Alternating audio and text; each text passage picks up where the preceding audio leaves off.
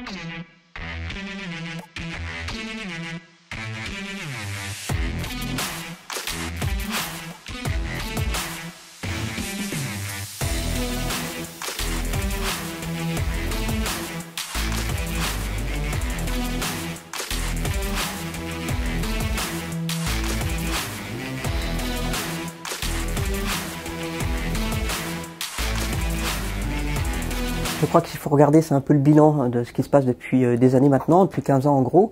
On peut dire que les moyens de l'État ont été euh, relativement démantelés. Je crois qu'il y a à l'heure actuelle 1300 inspecteurs dans les DREAL pour 500 euh, 000 sites classés protection de l'environnement.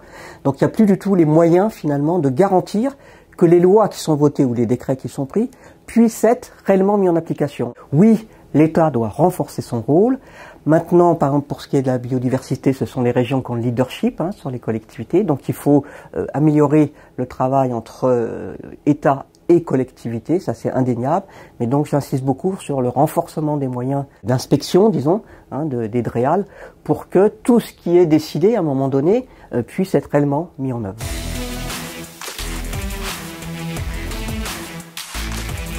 Vous avez vu la deuxième partie du rapport du GIEC qui est sorti le 28 février, qui alarme encore plus. Il faut maintenir le cap fixé par l'accord de Paris à 1,5 degré. Donc il faut absolument une volonté politique pour bifurquer, hein, nous on parle de bifurcation écologique. Oui, la France insoumise est tout à fait favorable à un grand plan euh, pour la nature en ville. Et donc euh, il faut agir très très vite. Alors introduire la biodiversité dans tous les projets de construction, c'est effectivement très très important et c'est un peu ce qui manque aujourd'hui.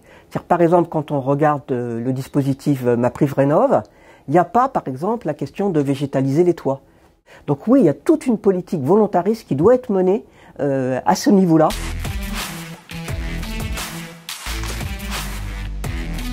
Oui, nous sommes tout à fait pour. Je dirais même pas que c'est nous sommes pour, c'est que c'est indispensable. Moi, j'ai plutôt une bonne image, hein, parce que bon, je trouve qu'il y a eu une très nette amélioration sur le traitement euh, des espaces verts en ville.